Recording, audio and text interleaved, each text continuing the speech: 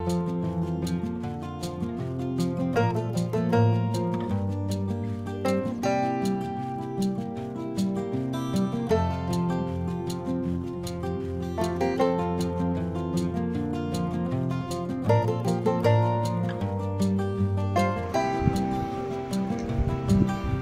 Friends Gem के education tube में आपका स्वागत है। मैं आकांक्षा अपने नए वीडियो के साथ, नए टॉपिक के साथ फिर हाजिर हूँ। उम्मीद है आपको मेरे वीडियो पसंद आ रहे होंगे और यदि आपको मेरे वीडियो पसंद आते हैं तो प्लीज़ मेरा वीडियो लाइक कीजिए कमेंट कीजिए, अपने सुझाव दीजिए और हाँ यदि अभी तक आपने हमारा चैनल सब्सक्राइब नहीं किया है और आप न्यू व्यूअर्स हैं तो प्लीज़ हमारा चैनल सब्सक्राइब करें और अपने सुझाव दें हमें, अपने कमेंट द्वारा।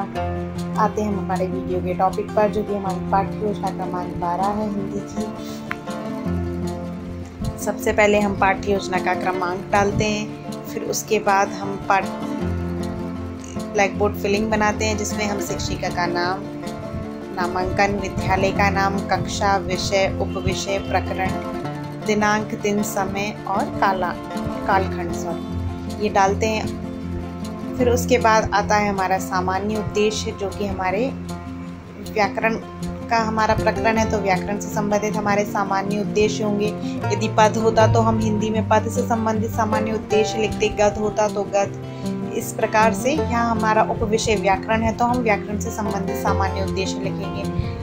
यहाँ पे मैंने छह सामान्य उद्देश्य लिखे हुए हैं। आप चाहें तो चार या पाँच भी लिख सकते हैं। फिर आते हैं हमारे विशिष्ट उद्देश्य, जो कि हमारे प्रकरण से संबंधित होते हैं। वो भी हमने यहाँ पे छह लिखे हुए हैं। आप चाहें तो चार लिख लें या दो भी लिख सकते हैं, तीन भी लिख सकते हैं, जितने चाहें उतने लिख सकते हैं। यहाँ कोई बाउंडेशन नहीं होती है कि आपको पाँच लिखना है या छः लिखना है। फिर आता है हमारा सहायक सामग्री, जो कि हम जो भी सहायक सामग्री इस्तेमाल करेंगे, वो यहाँ पे लिखनी होती है। तो हमने चौक, डस्टर, लपेट, श्यामपट, पॉइंटर आदि इस्तेमाल किया हुआ है। फिर आता है हमारा पूर्व ज्ञान कि बच्चा। इस सब, जो भी हमारा प्रकरण है, उसके बारे में पहले से क्या जानता है?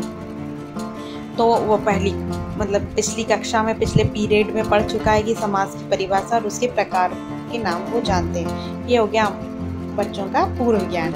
फिर शिक्षण विधि की, यहाँ पे व्याख्यान विधि और प्रश्नोत्तर विधि का इस्तेमाल किया हुआ है तो हमने यहाँ पे मेंशन किया है। आप चाहें तो जहाँ पे हम प्रस्तुतिकरण करते हैं, वहाँ भी विधि का कॉलम बना सकते हैं, लेकिन हमको वो ज़्यादा विस्तार से हो जाता है और ज़्यादा हमारे पास, हमारी कॉपी में उतनी जगह नहीं होती, इसलिए हम यहाँ पे इसको ऐसा मेंशन करते हैं तो वो भी स्वच्छ रूप से बनेगा। और समझ में भी आता है कि कहाँ पे व्याख्या कर रहे हैं और कहाँ पे प्रश्नोत्तर कर रहे हैं। फिर आता है हमारा अगला टॉपिक जो कि है प्रस्तावना, अगला पॉइंट हमारा, जिसमें हम तीन खंड बनाते हैं, क्रमांक, प्रशिक्षु, शिक्षिका, व्यवहार और विद्यार्थी व्यवहार, जिसमें हम प्रश्नोत्तर के माध्यम से उनसे प्रस्तावना का जो हमारा प्रकरण है, वो निकलवाएँगे। फिर आता है हमारा उद्देश्य कथन, कि आज हम समाज के प्रकारों की परिभाषा का उदाहरण सहित अध्ययन करेंगे।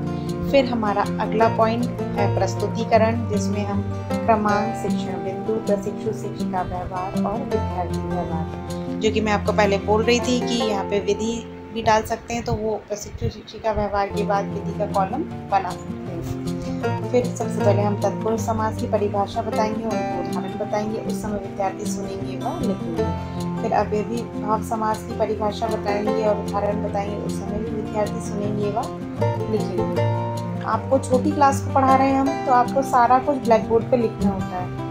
उदाहरण या परिभाषा वगैरह, और बोल बोल के लिखना होता है जब आप प्रस्तुतिकरण करते हैं। फिर आता है बौद्धात्मक प्रश्न, जिसमें कि हम जो भी हमने अभी पढ़ाया उसके बारे में हम उनसे प्रश्न पूछेंगे।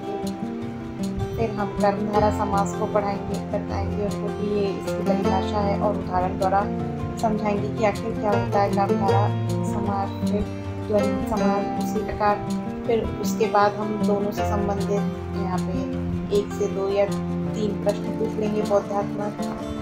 फिर आता है हमारा दिव्य समाज। इसकी भी हम परिभाषा बताएँगे और बच्चों को समझाएँगे।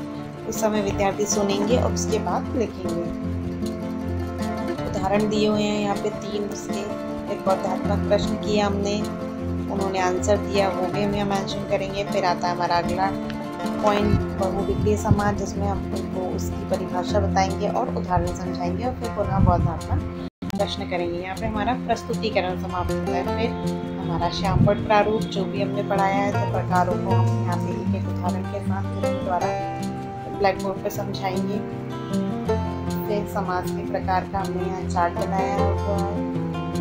देखिए कितना मनमोहक चार्ट है। बच्चों को ये बहुत पसंद आता है, ये अंगूर का गुच्छा है और इसमें हमने समाज के प्रकारों को बताया हुआ है। फिर हमारे आता है पुनरावृत्ति प्रश्न, हम दो से तीन पुनरावृत्ति प्रश्न, यहाँ पे आप पाँच भी कर सकते हैं। ऐसा नहीं है कि आपको एक या दो करना है। लेकिन इतना टाइम नहीं होता है कक्षा में जब हम पढ़ाते होते हैं कि हम इतने सारे प्रश्न करें, क्योंकि हम वैसे ही बौद्धात्मक प्रश्न करते चले आ रहे होते हैं। और हाँ जो भी हमने बौद्धात्मक प्रश्न यूज़ किए, वो भी हम यहाँ पे पुनरावृत्ति प्रश्न के रूप में यूज़ कर सकते हैं। फिर अतः हमारा कक्षा कार्य ये भी हमको दो से तीन प्रश्न द्वारा ही कराना होता है, क्योंकि वो हमें बच्चों का चेक भी करना होता है एक एक बच्चे के पास जाकर। तो इससे ये भी ज़्यादा बड़ा नहीं होना चाहिए। फिर आता है हमारा गृह कार्य इसमें हम उनको घर से करने के लिए जो हम कक्षा में होमवर्क देते हैं, वो फिर आता है हमारा टिप्पणी। यहाँ पे हमारा जो भी पर्यवेक्षक होता है और जो भी हमारा सह शिक्षक ऑब्जर्वर होता है, वो यहाँ पे मेंशन करता है कि आपका पाठ्य योजना कैसी थी यहाँ पे हमारा ये वीडियो समाप्त होता है। आपको हमारा ये वीडियो कैसा लगा? प्लीज़ अपने लाइक कमेंट और अपने सुझाव ज़रूर बताएँ। धन्यवाद।